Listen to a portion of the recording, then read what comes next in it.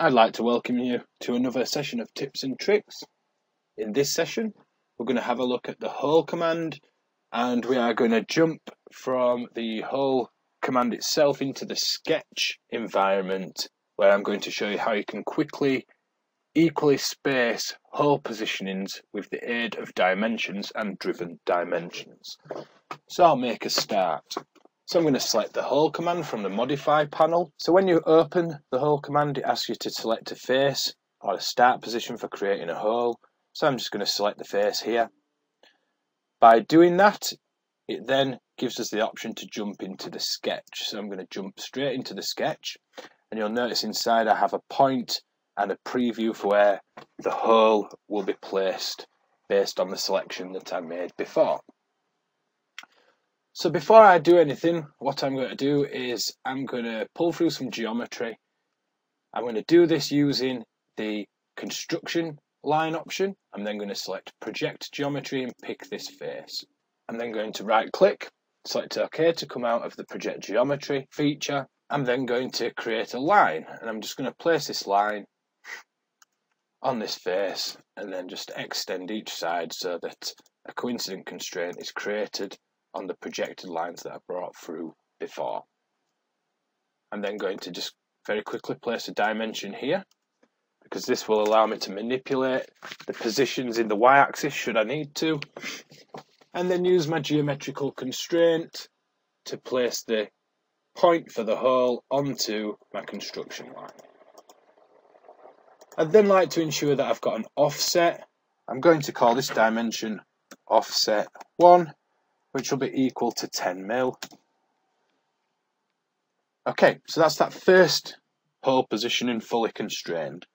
I'm then going to select point from the create panel and just place another location for a hole onto my construction line. And I'm also going to create a dimension between the point and the end, but I want it to be the same as the original offset. So I'm going to select this dimension and as you can see, it's placed the offset one into that dimension, which is set to 10 mil. I'm then going to select the point again, and this time I'm just going to place a couple of points along this specific line. Now, because I don't want it to end up using any of the tracking lines, I'm just going to hold control.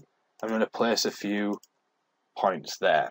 I'm then going to constrain them using the coincident constraint to ensure that they are attached to my construction line that I've placed before, like so. Now I've done that, I'm going to start to add some dimensions. So I'm going to place some more dimensions between the points.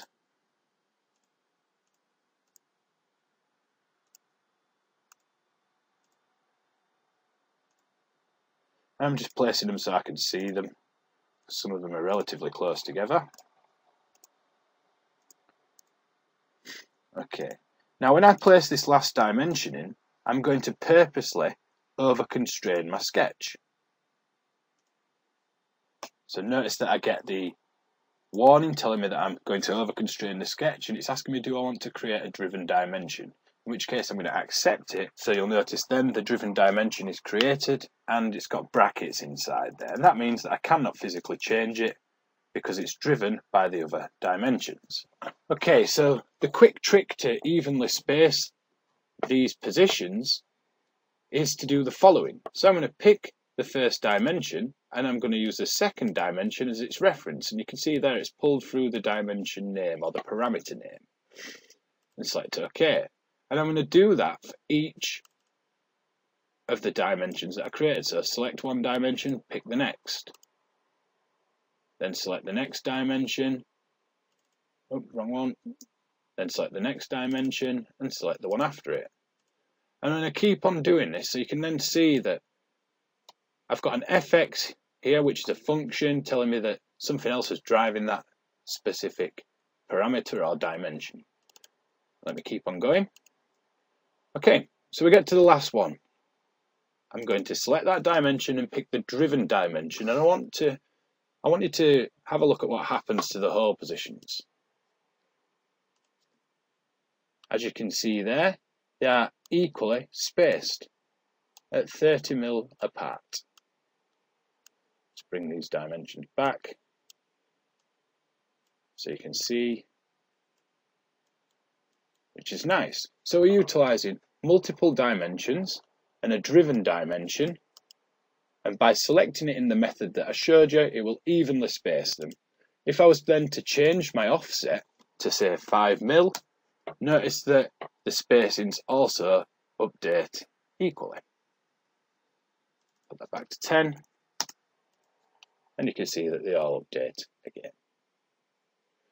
Then I can jump back onto my hole, into the command, I can pick the size hole that I want, I'm just going to leave it at this moment at 3 mil select OK, and I have equally spaced holes with an offset of 10 from either side.